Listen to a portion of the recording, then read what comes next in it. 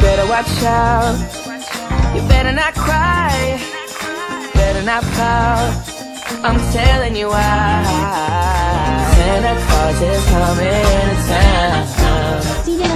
欢迎各位来到我们的美丽华影城参加圣诞快递 DHL 的快递关怀慈善首映会。我是主持人活力 DJ 阿关。那当然呢，这一次在这个圣诞快递的中文版的配音方面呢，是特别邀请到了这一位最近演出了偶像剧，哇，大受欢迎，非常非常喜欢的前年轻的新偶像。Ladies and gentlemen，请大家以热情掌声欢迎我们的邱泽，耶！欢迎邱泽，邱泽跟大家先简单介绍一下阿舍是一个什么样个性的男生？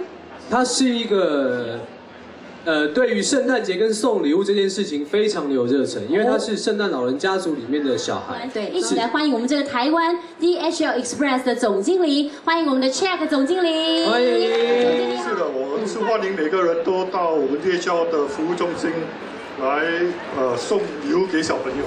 You better watch out. You better not cry. you Better not pout. I'm telling you why. Santa Claus is coming to town. He's making a list. He's checking it twice. He's gonna find out. 最难忘的圣诞礼物是我爸送我一台，我小时候就很喜欢车子，喜欢然后，就送我一台四驱车。我我就会觉得，其实有时候礼物并不是它有多贵，对而是它对你有多重要。嗯像那台车，我觉得现在目前对我来说。没有任何一台跑车可以比得上它，就算是名车，或者是因为它在你心里面的那个意义，跟当时被满足的那个感觉，是你永远没有办法忘记的。所以呢，至今深深难忘的一份最棒的圣诞礼物，来自于爸爸送给你的四驱车。对所以呢，今天是不是邱泽有准备礼物要送给我们的小朋友？有希望你们会喜欢，希望小朋友，我觉得小男生一定会喜欢，真的耶遥控的东西。其实我觉得今年如果最好的呃假日的方法，过假过节的方法。对，新年也好，圣诞也好，我希望真的可以跟家里的人吃顿饭。You better watch out. You better not cry. Better not pout. I'm telling you why.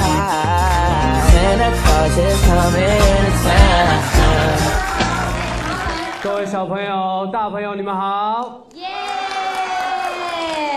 准备好了吗？圣